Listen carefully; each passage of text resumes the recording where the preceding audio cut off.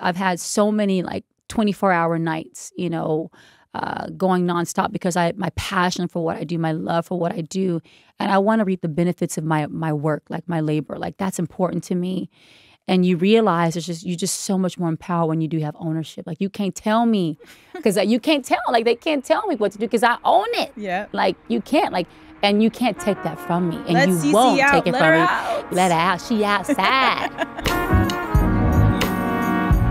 You're listening to R&B Now on Apple Music One. I'm Nadeska, joined right now by the beautiful Ciara. We're here to play music from her new EP. It's called CiCi. You are literally glowing. How are you feeling? Thank you. I'm feeling amazing. CiCi in the house. um, no, I'm feeling really good. My baby was kicking my butt this morning, and I was like, "Come on now, baby, get it together." I was getting work a little do. nauseous and all kind of weird stuff, but I'm so happy to be here to talk to you about CiCi. I actually want to start on a more personal note. I realized when you started rolling out music again recently, you kept talking about joy, Mhm. joy and happiness. And I think that most people maybe don't necessarily realize that you actually have to pri- prioritize feeling joy in your life because yeah. no matter how successful you are, how beautiful you are, there's you can always be wanting more. So why has Mhm. it been so important to you to share this like need to just have and experience joy with your fans? You know, it, it definitely is a personal desire of mine. I think I just don't like feeling like I'm carrying weight mm-hmm. in life. Like I don't like heaviness. Like even on my toughest days, like you have to go through your toughest days, but I hate the feeling that comes with those days. So I'm like, how do I get to joy? How fast can I get to joy? So that's kind of been my internal mantra that I've lived by and I I think sometimes maybe to a default I focus on joy that I don't really really carry the weight of what something like when something's really not the best or like heavy because I'm so focused on joy, I don't think I'm living in a reality of what's going on. So I'm like, oh, we'll figure it out. Like it's gonna be fine. Like, you know, even though it's like, oh, this is like 911. That's kind of my mentality. And there's just something about that feels really healthy to me. Like it's good for my mental state to to get to joy. It's good for me as a mom to get to joy because my kids, heavens knows, them babies is turned up, you know. But also just to be the support of my family, for my husband and what he does. Joy is so important to me. Is like who I am in my house, Right. but also as my and I, as I work with my team. Like I think that joy is infectious. Like it's just something so necessary about it. And I made a mo- I made a lot of this project when I was in the pandemic. We needed joy. We did. We needed love. did. We needed all kind of stuff, right? So for me, I was like, I just like how fast can you get to joy? Like it's kind of like a, a thing for me. So I'm just really committed to that philosophy, and it's my go-to in any of my toughest and challenging moments. And even when life isn't so crazy, I'm just I just want to live life full of joy. That's incredible. How fast can we get to joy? I think that's really a mantra to live by. Have you always been that way? You've look, we're gonna talk about you celebrating a 20 year anniversary coming up next Yeah. year for Goodies, which is incredible because I still remember where I was, you know, when that album dropped and the songs were playing. You've been through a lot in the industry. Have you always had this positive outlook where you were trying to get to joy, or did it take you some time to get there? For the most part, I've always been that girl that loves to laugh. I love um, good times. I love positivity. I've always kind of been that way. I'm not going to lie to you. It's not like a new discovery within myself, but I think more so the intentionality of it. Like when you go through things in life and you gain that wisdom, you start to be very, very intentional because you learned from like,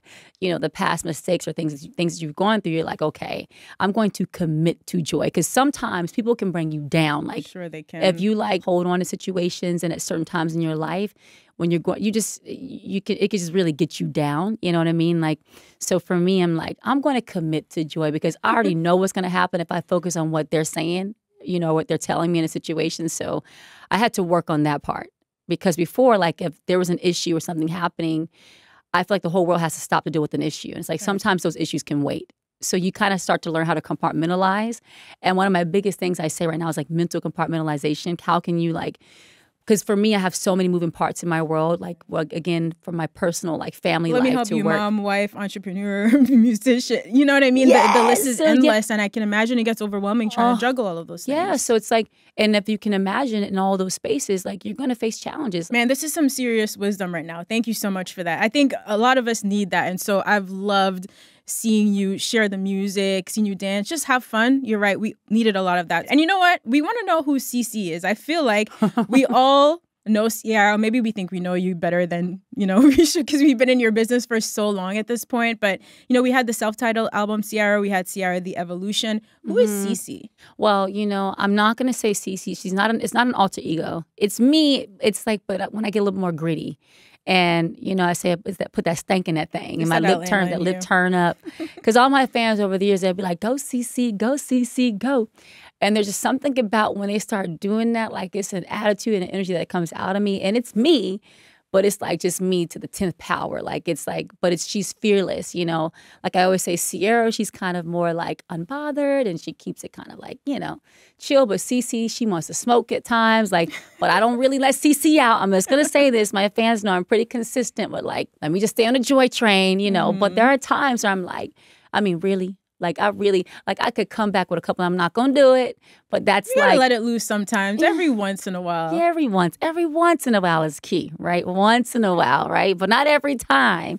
Um, but no, I mean, CiCi is me. Again, it's not another person, but it is like it's just an energy that I connect to. And you know, since I was a little girl, little CiCi, you know, like it's CiCi. Look at she over there dancing, like you know, that's just who I've been. It's my nickname, and my fans, I think, have adopted the energy of what that is, and it's so powerful when I look at footage from like years, you know, years ago and up until now, and they always would be they go go CiCi, like they'll say Ciara at different points, like Ciara. Ciara. That's always sweet, but they always come go CiCi go, and I start popping that thing and dropping that thing, and it's just all that good stuff. I love it. As a fan of music, when I think back to albums, so your first album, for example, it always invokes such strong memories, right? Of where I was in life, what I was going through at that point. And I think only music can do that. But I'm not sure if it works the same for you as the artist. So when you're thinking back to all of your albums and up to the EP now, CiCi, when you think of each project, does it bring back the memories of those moments to you? Oh yeah, well I say music marks time. Like for me, especially because I do have like mommy brain is real, but I think just like when you meet so many people and do so many things, you can forget a lot. But music helps you to mark time. So yeah, it does. Um, you know, there's I have nostalgic, you know, feelings at different points in my life. Um, it was something before my music that inspired me from day one, or just like going back to like certain feelings I had in the beginning or certain projects. Um, and I think music has allowed me to do that, you know. And you can't, I can't remember everything fully in every era of what I've done, but there's like key moments. Like I can remember when I'm in the studio recording, you know, certain songs, like or the energy that I was on. Like for example, I was bringing, I've been bringing up my high top, high tops, like super strong.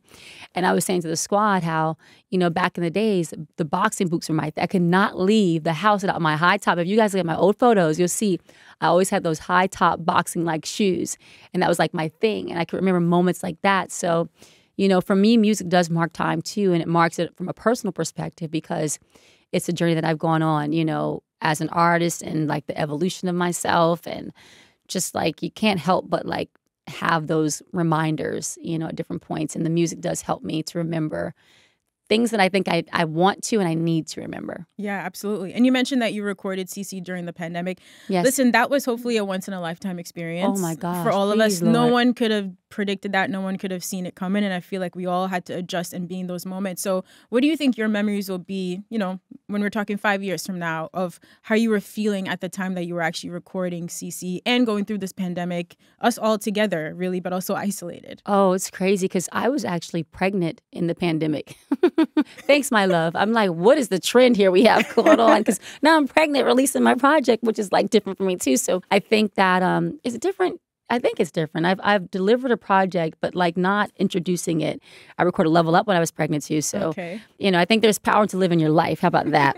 um, but I do think that when we look like when I look out five years from now, I think I'm going to be so proud of the journey. You know, I'm doing this thing independently, which is a whole different animal. And my first time I started my independent journey was with Level Up, and um, I think I just for some reason I don't know what it is. Something about when I'm carrying, I feel like super like fired up, and I I feel super determined to like go to the next level.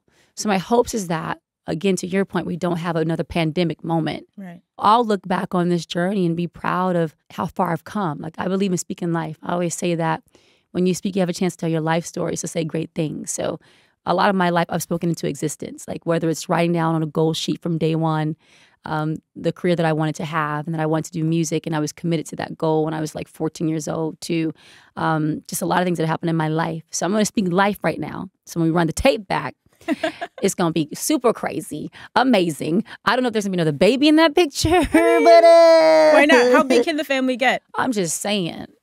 I, somebody needs to come get Russ just real quick. Just just hold him for two seconds, okay?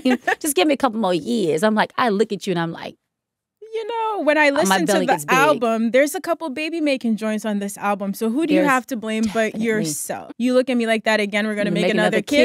kid. You have nobody to blame but yourself. oh my ma'am. gosh, but he, he looked at me like that again. He looked at me, and I was like, and then my stomach got big, and that's just how it goes. At least when this baby grows up, you know, they could play back the project and they'll know. That's I'm just saying, where you know, things beautiful things from. happen in this season of life. So when you got in and started recording um, the EP, what was the starting point for you? You know, my, I have to give love to my friend Tehran, who I um, executive produced this project with. Um, we actually did Level Up together. We did also my song I Bet together. With this project, we really wanted to be intentional, and we really talked about R and B being super important to us.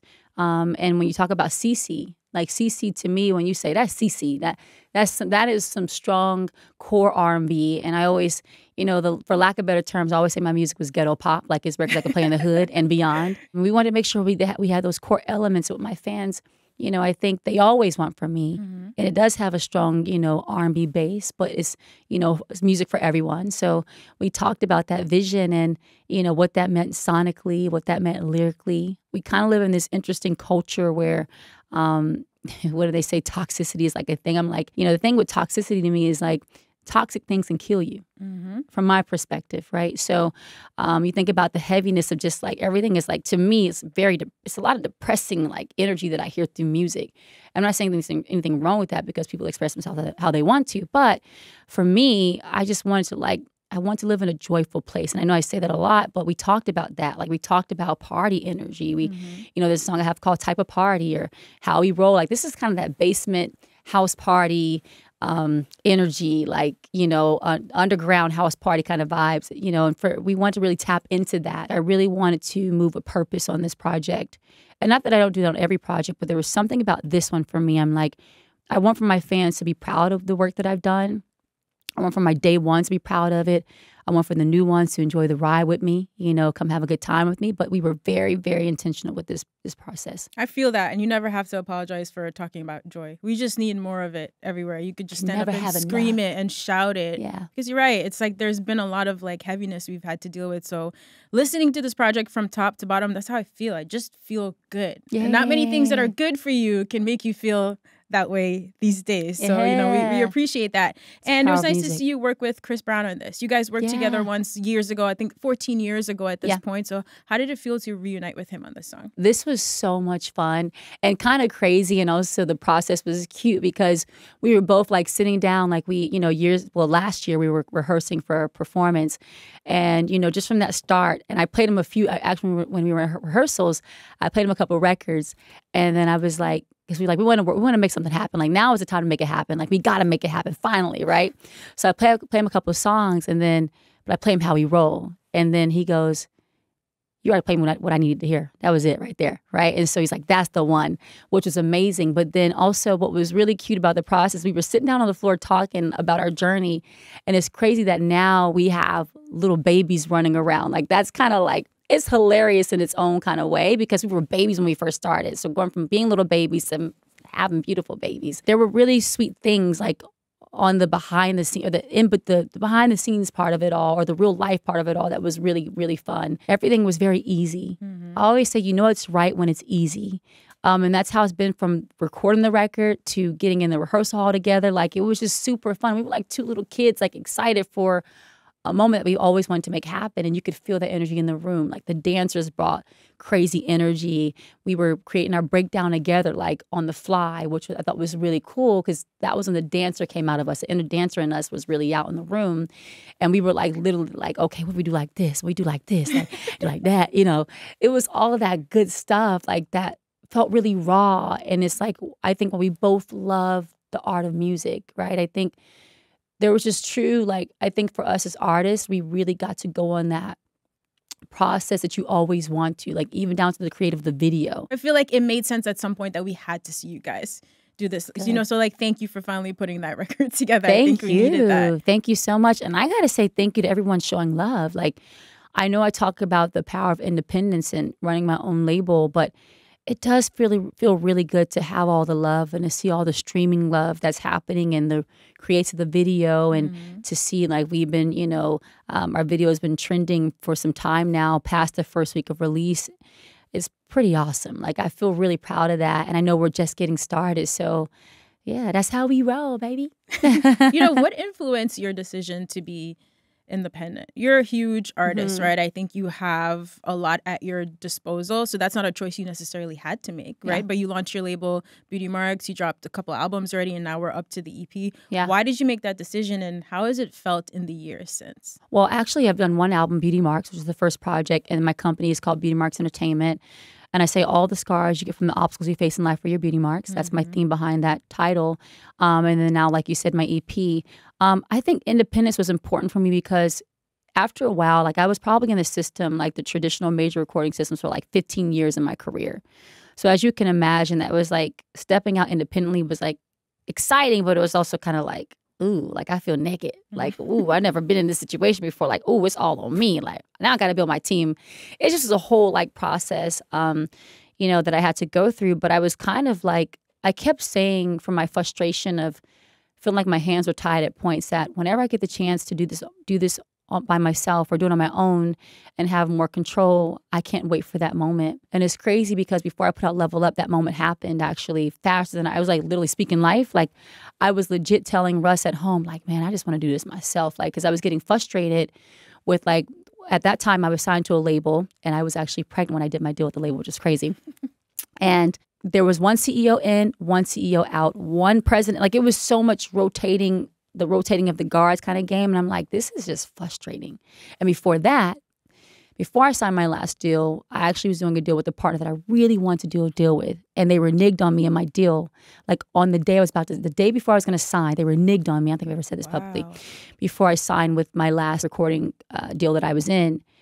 And at that point, I'm like, I don't like this feeling. Like, that was I'm the like, sign. Yeah, I was like, ah, they playing with me. Like, I don't like feeling like folks are controlling what I'm like my destiny and like, eh, there's only one power for me that controls my world, and that's my, my heavenly father, that's God for me. And I'm like, eh, I don't want to be in this. Like, I can't do it this way. Like, I've got to be able to at least put my best foot forward know that I can control it as best as I can. But knowing that when I put my best foot forward, I'm betting on myself, like all chips are in, and it's really going to be, it's going to, it's just different. Like, I've been there before where I've betted on myself and the system didn't. And it's also like, you know, it's like I, I invest a lot of money and then they're over there like, we don't really know.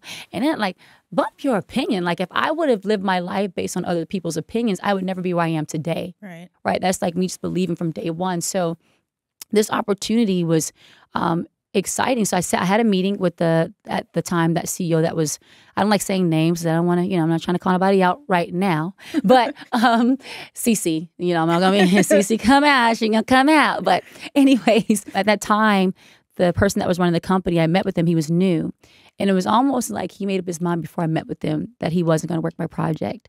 And I went in like excited, like, you know, this is what I'm going to do. I got this song called Level Up, da da da da. Like, I had the video, like everything. And then he like legit like looked at me like, yeah, it's great, you know, amazing, like generic like salt, like uh, what is those it? Um, bland executive, like that bland words. So then he, you know, kind of wasn't feeling my direction of my project, or he wasn't feeling it, and I'm like, this is the moment.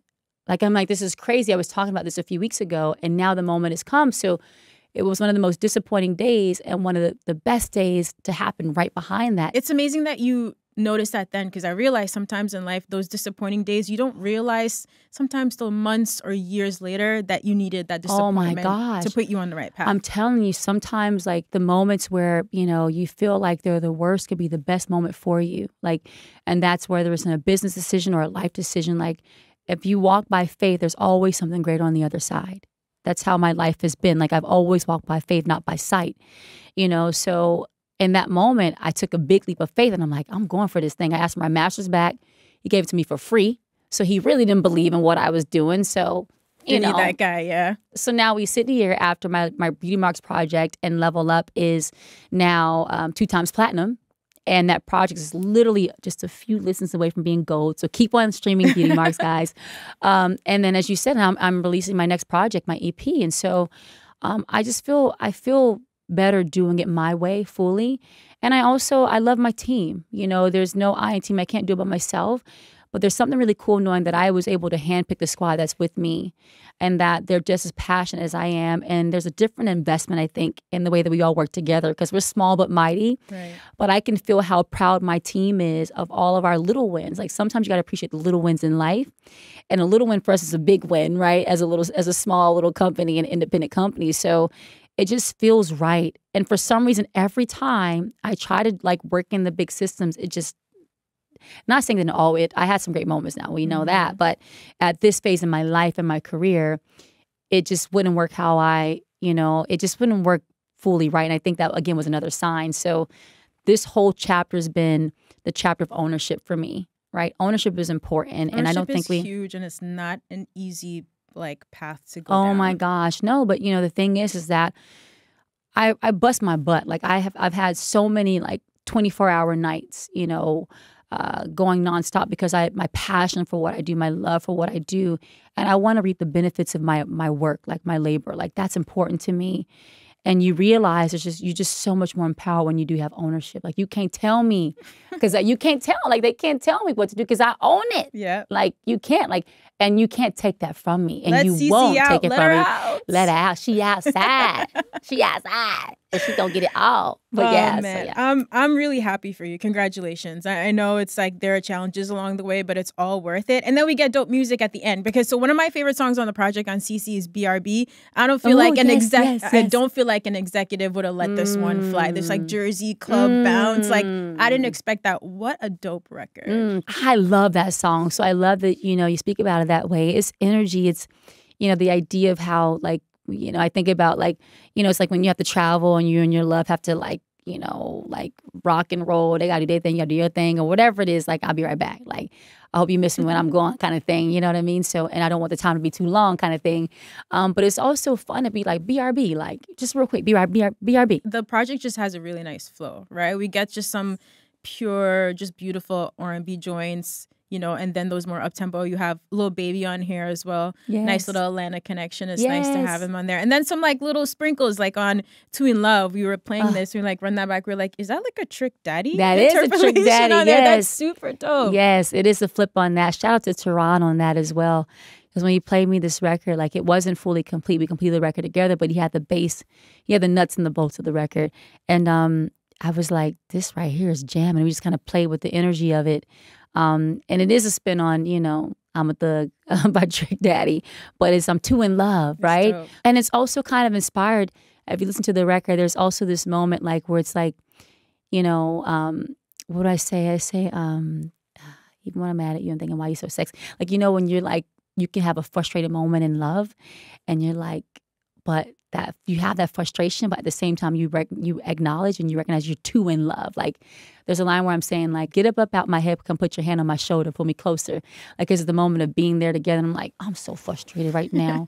and I really don't want to, like, I'm looking at your phone, my phone, and I want to call you, but I don't want to call you. Like, it's like that energy, but it's like, I'm too in love. So that love, like, you know, you just feel it in the record. So um, that was really fun. That was really fun making that song. So one thing I love is that you are still so just clearly a fan of the music, right? You know, you've Mhm. been doing this for some time now, but like seeing you collaborate with uh, Summer Walker on Better Things, yeah. with. Lola Brooke and Lady London, like I love to see those records. Has th- that fan in you of the music just always been alive? Oh my gosh, always. Um, I've always been a believer that when you do collaborations, you do it because it feels good, Mhm. right? I've never wanted to um, just be with someone because they're like to put someone on a record because they're dope, like I mean because they're hot, like the hottest thing, but because they're dope. Yes, I love to, I love working with artists. Um, you know, so working with Summer was really fun. Like it's crazy because she and I both from Atlanta as well, and then she and I bonded because I did something on her project. Um, I did the prayer for for Summer's project, and then she returned the love for me as well with Better Things, and it was a song that both of us really loved, which was really cool. Nothing better than that. Again, like when artists say like this is what I'm vibing, and you're like, I thought that was for us too. It was amazing. So it was super easy and fun. And um, Summer's really funny, but it was really fun working working with her, and we've become like really good friends over time, which has been awesome. And then on to Girls, um, that record for me was really about um, even better things too, but. The girls also was about female empowerment for me. Like I really believe in female empowerment. I'm gonna always like stand for that. Um, and working with Lady London and Lola Brooke, I love because I think those are two amazing up and coming Yep. artists that have their own viewpoint and that um, they're just special. Like Lady London, she's just bars after bars when you listen to her online. Like when when you would see her stuff online, just like the stuff she would say would be like so poetic. And then she's also like so beautiful, but like so clear on her vision. I'm like, she fly, you know? and then um, Lola, I mean, she's the cutest thing and she's hilarious too. Like that girl is really funny. Um, but she, again, like these, like being around these girls, it was so cool because you could, like, you could tell they knew who they were. Like, I could appreciate that about them, that they were very clear on their vision and they're just getting started. And they also like they got some attitude, some bite to them, some like hunger to them, and I really love that. And I also love celebrating my my queens. I, I love celebrating the up and coming queens. I think that's important. Mhm. That's like when Missy reached to me when I was a little baby. She celebrated me at Yeah. the beginning of my career, and that was so important to me. And one of the best songs in my career that we've had together. We won a Grammy off one of our songs together. Um, so that's important. I think we got to do that. I think we mm-hmm. have to do it as much as we can. And it was also organic. Like they brought the light to the girls and helped me tell the story even better. Um, you know, in reference to how I wanted to to really tell the story of the record because it really was about female empowerment. Like people talked about the line, "Don't need no man." It's like, no, no, no. Not I'm not part- saying you're I don't- missing the point. You're missing the whole course, point. It's like, no, no, no. Trust me. I need Russ strong arms to help me do a lot of things in my house, you know, or there's a lot of things we put our heads together on where he is, I, I feel like I couldn't do certain things without him, just to be honest. But it's also speaking to a woman's capability, right? It's like, there's been times before when I was like, I've my fans always, always know I talk about it, but I was doing it by myself mm-hmm. at one point in time, right? You know, even as an independent, like running a label, like there's power to what we can do, right? You know, and so I just wanted to speak to the life to that that part of us and celebrate that part of us. Um, because there's nothing better than when a female has her independence. Right. I think there's something very fly about it. I think there's something very respectful about it. I think it's something very necessary about it. Like you need to have that. You got to have like confidence in who you are, and don't let don't depend on nobody to like validate who you are. Right. I think that's important. So the girls allow me to kind of express that in that record. So it was yeah, really fun. I love it. Yeah, it's amazing. I mean, you're iconic to us. So seeing you pay it forward and like touch these new generations of artists, and you guys work together, I hope we get more and more of that. It's been incredible to to watch your journey and to to be a fan. You know, experience these moments with you. So congratulations on the new project. And I feel like I have to say Happy Hip Hop 50 to you too. So oh, obviously hey. R&B to me it's it's all hip hop, right? And you're a part of this culture that I grew up in. Like you're part of like my memories. You know what I mean? I so I think I hope like you feel like you're also a part of the celebration because you really are. Oh, I appreciate you. I appreciate your words. I appreciate this time. And, you know, it's been a blessing to me to have worked with some of the best rap artists in the history of music. You know, people like Luda, Missy Elliott, um, you know, Nicki Minaj, and more. Um, you know, I, I feel so fortunate I've been able to you know, merge hip hop into my music. You know, it says R and B, hip hop, pop, all that good stuff. Um, so I appreciate your, uh, your, your, your words. They mean a lot to me. Joy and celebrations. Thank you so much, Yeah. Ciara. You can stream the full project CiCi that is now available Hey. on Apple Music. CiCi outside, y'all.